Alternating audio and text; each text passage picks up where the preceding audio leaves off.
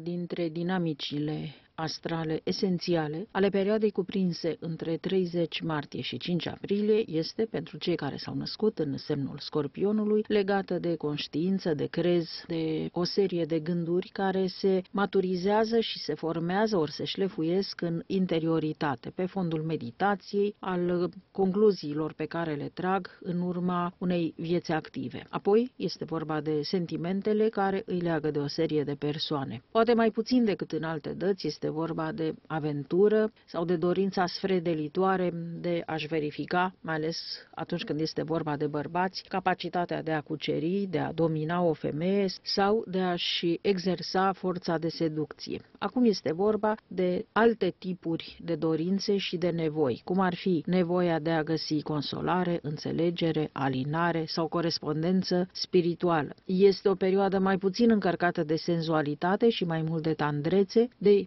iubirea în sensul protectiv, bun, blând, frumos și mai puțin varianta furtunoasă, tinerească sau uh, sfidătoare, ori uh, chiar una lipsită de scrupule. Ba din potrivă, acum, exact această nuanță este accentuată. Scorpionii își uh, fac foarte multe gânduri cu privire la felul în care s-au purtat sau ar trebui să se poarte dacă ar lua o decizie ce nu l-ar avantaja pe partener, l-ar face să sufere ori l-ar pune într-o ipostază proastă. Încearcă să rezolve chiar și nemulțumirile, conflictele, ori la limită despărțirile, în varianta cea mai delicată, cea mai blândă, cea mai concesivă, cea mai protectivă, cea mai duioasă. A doua dinamică astrală este legată de viața și activitatea de fiecare zi la locul de muncă, unde se poate vorbi de furtună, de conflicte, de nemulțumiri, de stres, de evenimente neprevăzute, de situații șocante, de răsturnări de situație care nu au niciun fel de legătură cu felul în care am muncit, s-a purtat, ori a acționat la locul de muncă un nativ din Scorpion. Săptămâna stă sub semnul acestor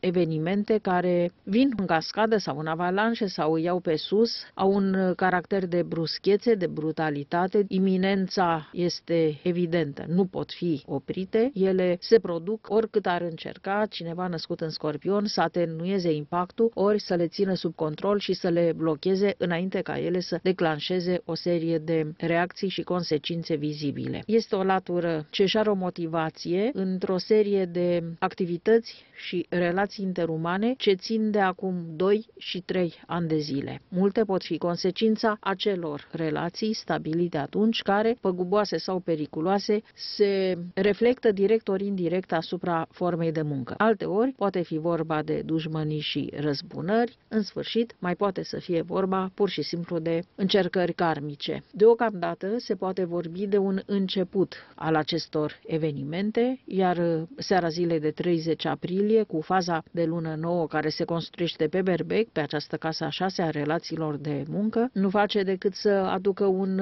element în plus de greutate astrală de motivație. Să nu uităm că suntem pe semne cardinale, Berbec, Balanță, Rac și Capricorn, iar elementele de comunicare, dialog interuman, înțelegere sau cooperare care lipsesc din acest peisaj astral, care va continua să le domine și să le controleze harta, cel puțin întreaga lună aprilie, cu o serie de reminiscențe care se vor rezolva și epuiza încetișor până spre iulie 2014.